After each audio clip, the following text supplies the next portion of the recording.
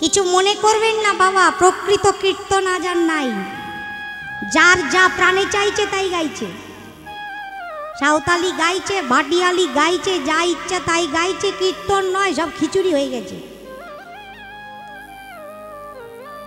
আমরা যখন আসরে আসি, প্রত্যেকটি কীর্তনিয়া কীর্তন শুরু করার আগে বন্দনা করে না? আসর বন্দনা? বন্দনা মানে কি?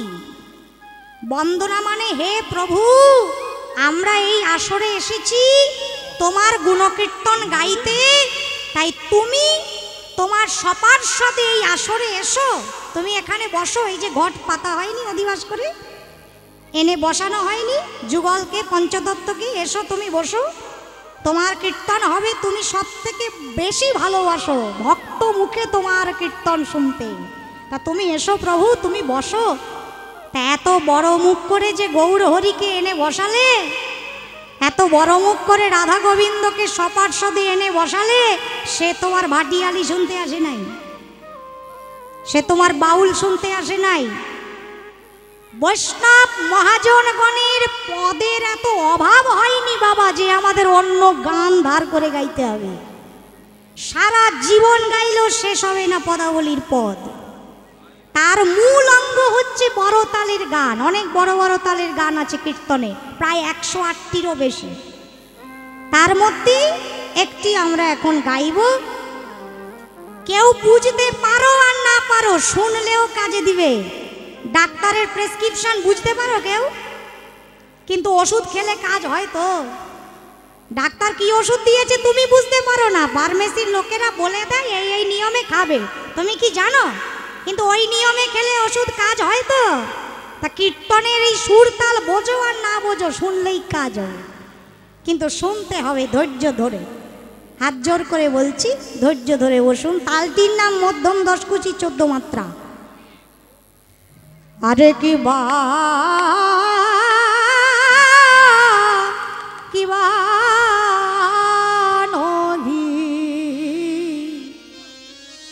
ছলা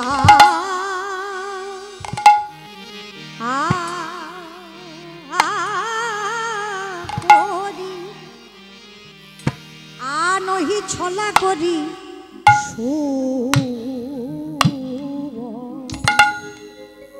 সুবলের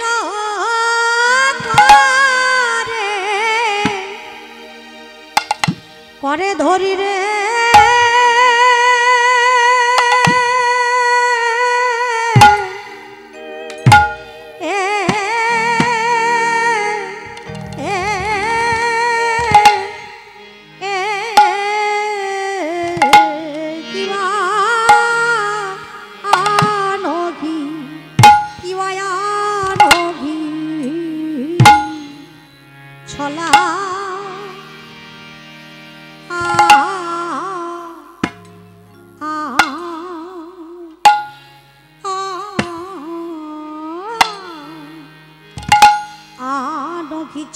করি সুবলের কাটান। সামনে না আমার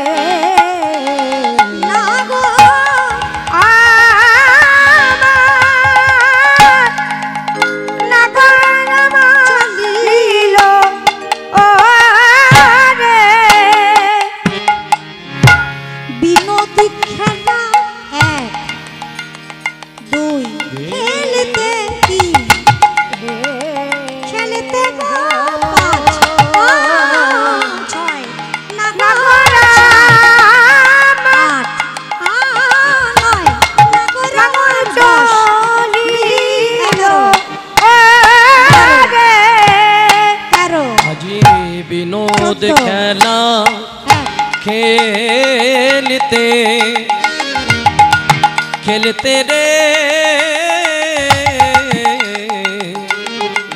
নাগোডা আমার নাগোডা আমার চলে লো রে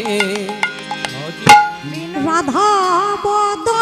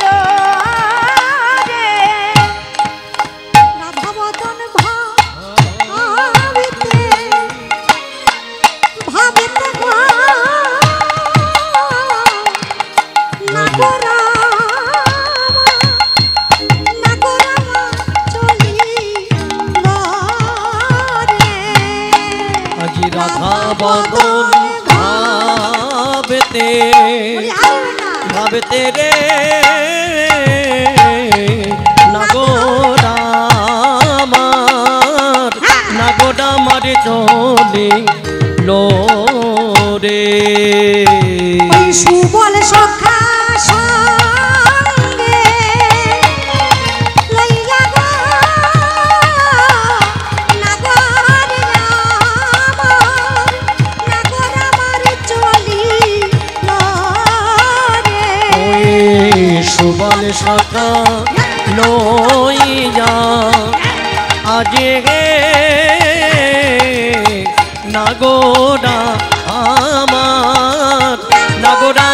মারে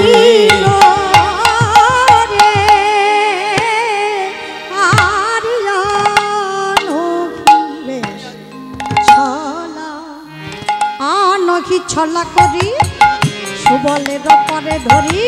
আনই ছলা করি সুবলের করে ধরি। আনো ছলা করি সবলে ডোকালে ধরি। নাগরা গমন করি লবণ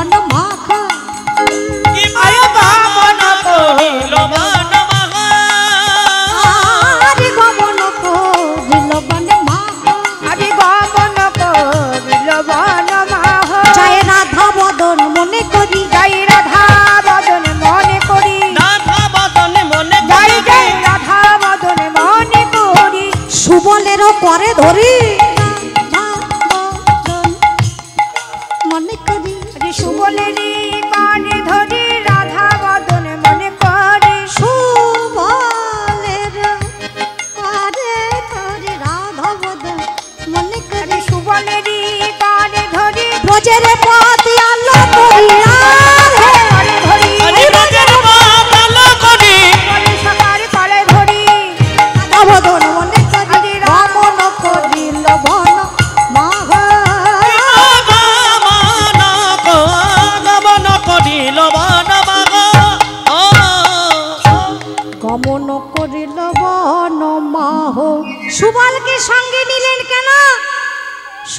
দেখতে রাধারানীর মতন না? তাই সুবলকে দেখে রাধারানীর কথা মনে হয়েছে। সব সখাদের ছেড়ে সুবলকে একা নিয়ে লুকিয়ে লুকিয়ে সেই খেলার জায়গা ত্যাগ করে চলে গেলেন বনে। বনের মধ্যে এসে দেখছেন, দেখ সুবল, গাছে কি সুন্দর ফুল ফুটে আছে। ইচ্ছে করছে ফুলগুলো তুলে মালা গেতে কুঞ্জটাকে একটু সাজাই। তরু সব হেরি কুসুম তুহু তোরই। কুসুম সব তোরগি হেরি কুসুম সব তোরগি। তরু সব হেরি কুসুম তুহু তোরই। ফুল তুলছেন একটা একটা করে। যত নহি হারো বানাই যতনই হার বানাই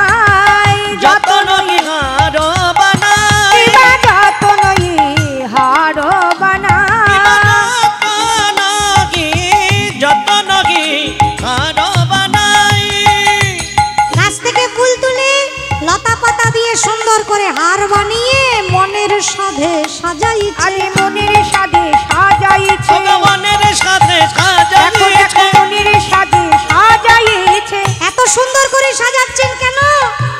কারণ আছে রাই কিশোরী আসবে বলে মনের সাধে সাজাইছে। দেখো রাই কিশোরী আসবে বলে মনের সাদে সাজাইছে। তাই কিশোরী আসিবে বলে মনের সাথে সাজাইছে। যত নহি হার বানায় হার বানাই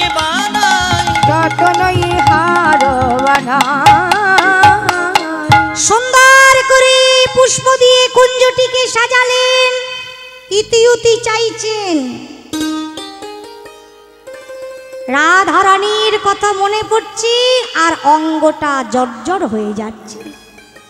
গোবিন্দ দাসকহু সুবলেরও করে রহু ঢর ঢর নয়ন তরঙ্গ যতই কুঞ্জের দিকে তাকাচ্ছেন, ততই রাধারানীর কথা মনে হচ্ছে, ততই চিত্তটা ব্যাকুল হয়ে যাচ্ছে। আস্তে আস্তে বসে পড়লেন, কি করবেন? কিছুই ভালো লাগছে না। সুবল বলছি, কানাই, যখন আসলাম বনে, তখন তো ভালোই ছিলি, হঠাৎ করে এমন ঝিমিয়ে পড়ছিস কেন? কি হয়েছে? আমাকে বল, শরীর খারাপ লাগছে? ঔষধ এনে দিব, বৈদ্য ডাকবো কানাই বলছেন, এই ঔষধ তুই খুঁজে পাবি না। আমার যা ব্যাধি হয়েছে। তাহলে কি করতে হবে বল? তোকে এমন দেখে ভালো লাগছে না কানাই? কানাই বললেন, যা বলব করতে পারবি? হ্যাঁ কেন পারব না? বল না। সুবল, আমার হাত ধরে একটু রাধা কুণ্ডের তীরে নিয়ে চল না। চল না। গোবিন্দের যখন মনে দুঃখ হয় রাধারানীর কথা মনে পড়ে রাধাকুণ্ডে গিয়ে বসে থাকেন। সমগ্র বৈষ্ণব জগতের ভজনের স্থানই হচ্ছে রাধাকুণ্ড। কারণ গৌরীয় বৈষ্ণবগণের ভজনের রীতি কি? একা গোবিন্দ ভজন নয় যুগল ভজন। কেমন করে যুগল ভজব? সখীগণের অনুগত হয়ে রাধা গোবিন্দের সেবা। এটি হচ্ছে আমাদের ভজনের মূল। সেইটি শিখব কি করে? জায়গাটি হচ্ছে রাধাকুণ্ড। ওখানেই বসে ভজন করেছেন অগণিত ভক্তগণ। আহার নাই, নিদ্রা নাই, ঘর নাই, বাসস্থান নাই, পড়ে আছেন রাধাকুণ্ডের তীরে। আমাদের ছয় গোস্বামীর অন্যতম শ্রীল রঘুনাথ দাস গোস্বামী পাদ ভজন করেছেন। এখনও তার সমাধি মন্দির আছে রাধাকুণ্ডের তীরে। একমাত্র রাধারানীর করুণার দ্বারাই গোবিন্দ লাভ সম্ভব, নচেত নয়, কেউ পারবে না। একমাত্র রাধারানী পারে তোমাকে গোবিন্দ দিতে, কারণ রাধারানী অপার করুণাময়ী। রাধারানীর যে কেমন করুণা, সেটা ভাষায় বর্ণনা করার ক্ষমতা অন্তত আমার নাই। বলতে গেলে বামন হয়ে চাঁদে হাত দেওয়ার মতন হবে। তবে ভক্তমণ্ডলী, রাধারানীর কৃপার একটু আমরা আজকে আস্বাদন করব।